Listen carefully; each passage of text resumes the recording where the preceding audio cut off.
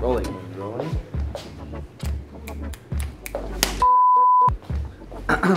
Hi, I'm Max Thompson, a member from the Elektro Botz dance crew, and I am producer and head choreographer of the Elektro Botz concept series. Hi, I'm Dominic Laravier. Uh, I'm an Elektro Bot, and I'm the technical director and director of photography. Hi, I'm Phoenix Benuelos, and I'm a member of the Elektro Botz dance crew, as well as the creative director for the Elektro Botz concept series. So, the Elektro Botz are taking on our most ambitious project to date.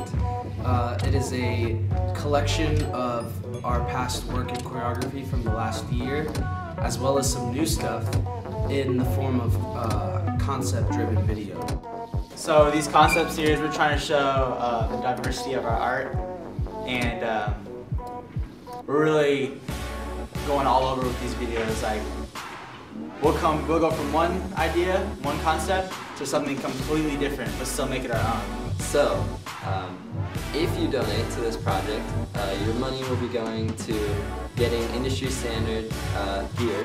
Okay, so cameras, lights, generators, as well as permits for locations. This concept series is going to be unique in the sense that it has a very uh, variety pack type feel where every video in the series is going to have a different concept, a different story to tell, a different feeling. Um, it's going to you know, make the audience feel a different way throughout each video in the series.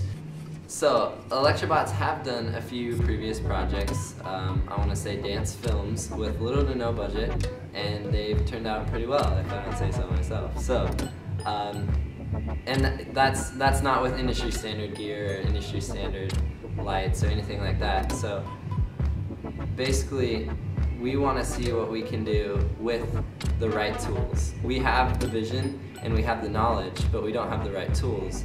So that's where we kind of need you guys to come in, just to, you know, supply us with those tools so we can really bring our full vision uh, So anything you could donate would really help our cause. If it's just a dollar, uh, you know, we would appreciate it because this is all coming to make this project come to life and it's going to be something that I'm really proud of and hopefully you'll be really proud of investing in. So uh, thank you for your time. We really appreciate it.